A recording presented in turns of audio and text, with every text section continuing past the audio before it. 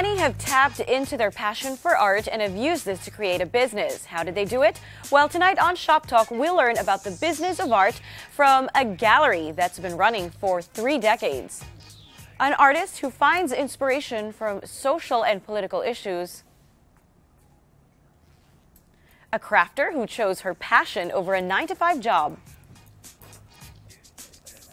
Bazaarista is promoting women as social entrepreneurs and someone who went from banking to makeup artistry. So sit back and relax. It's a full show tonight. I'm Ria Tanjuatco-Trillo.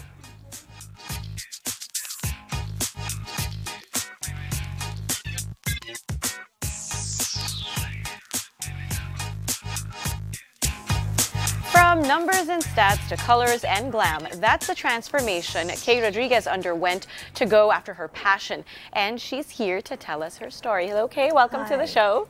Thank you for inviting me here. Okay, I love your story. You used to be a banker. Yes. Okay, how does a banker become a makeup artist? Um, I'm always fascinated about makeup, and being a frontliner, we really need to be made up every That's day.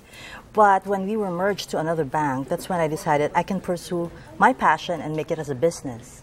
That's when I became a makeup artist. A makeup artist. Okay, so what what uh, training did what types of training did you enroll in to hone your craft? Um, being a late player in the makeup industry, I decided to really focus on my training. So I went to Hollywood for my film and TV special effects. And then I had my airbrush makeup training also. And then I really uh, tried to pursue it by having a, an advanced and masteral. And now I'm the chief airbrush makeup trainer of Airbrush Diva Philippines. So aside from being a makeup artist, I'm also a trainer. Oh, wonderful. Okay, but so you went to Hollywood and you said you did like the Hollywood stuff. So that's Yes. just not ordinary makeup. That's like Yes. the prosthetics, Yes, with the prosthetics. with the wounds, with the fake blood, with the Everything. monsters, that kind of thing. Yes, yes. Wow. Okay. Everything. But Have, he- have you been able to use that as well? Yes, yes, but you know, I really love beauty makeup.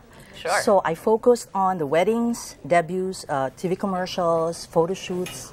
Okay, tell me about Airbrush Diva and, and what's the advantage of Airbrush Diva over other types of airbrush makeup on the market? All right. Um, aside from uh, having a very good quality, this is very affordable, and this is now available in the market.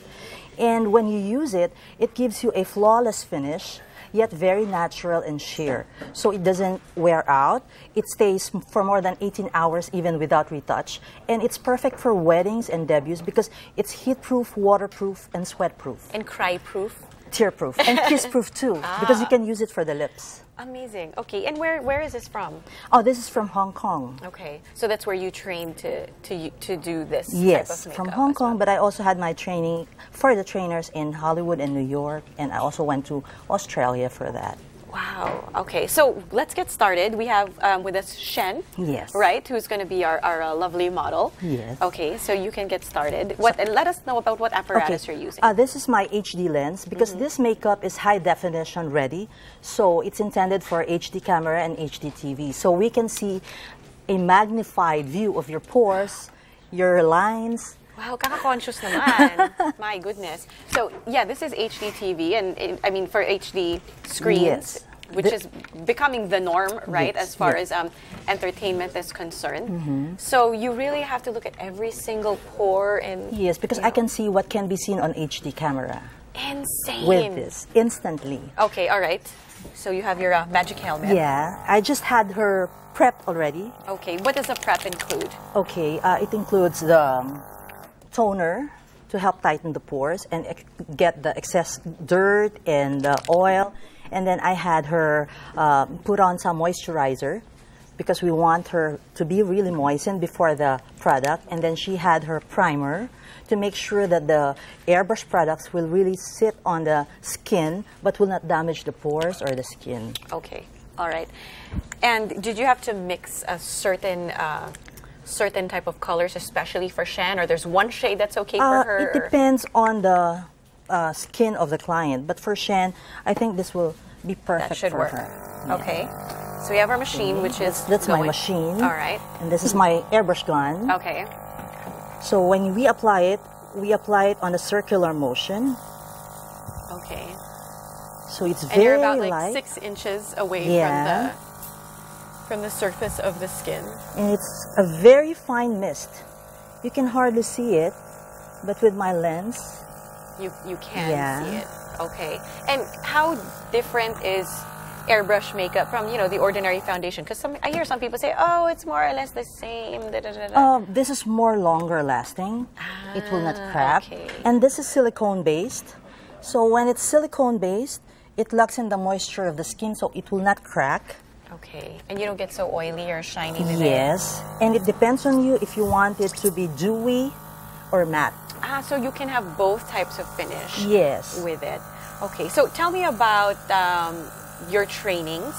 You train lots of different people. How long is a course? Like, if I want to learn airbrush, the basic in airbrush Mm-hmm. makeup, how long would that take me? I offer a one day intensive program. It's a combination of the basic and advanced. So it's just for one day, wherein we can mix all the uh, training for the compressors, the gun, but also the complete airbrush training for the moisturizer, foundation, eyeshadow. I also I already did her eyebrows. Right, It's also okay. airbrushed.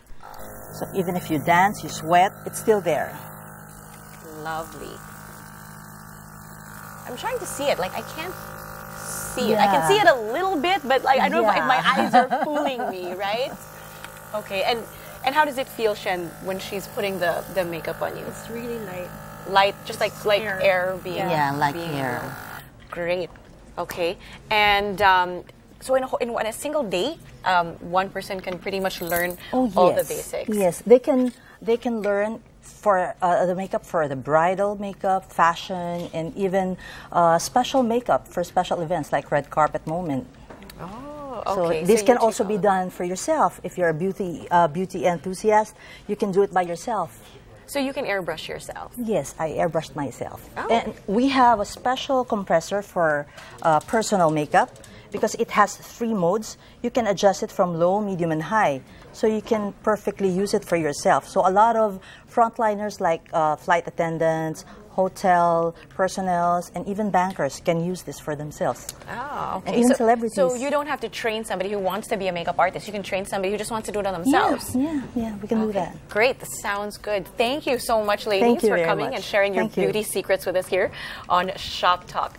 Well, people have often said that you can only pursue art or business and not both, but I think our guests tonight have disproved that. You can make art your business with the right mix of passion and hard work. So if you missed any of our features, you can catch them again. All you need to do is log on to anc.yahoo.com and tell us what you think about today's episode. You can also follow us on Twitter and Facebook. Till next week, I'm Ria Tanjuatco-Trillo. Thank you for watching Shop Talk.